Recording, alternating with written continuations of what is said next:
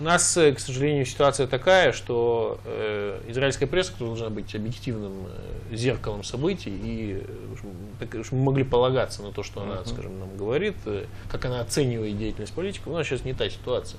Надо честно э, смотреть правде в глаза. У нас есть значительно широкая коалиция средств массовой информации, которая, для которых эти выборы это сказать, критическая возможность избавиться от премьер-министра. Uh-huh. Естественно, э, журналисты, которые входят в эту, так сказать, неформальную коалицию, ну, я не думаю, что я открываю Америку, правда? Да, конечно. Они, э, верить им, конечно, можно, да, но только с калькулятором в руках.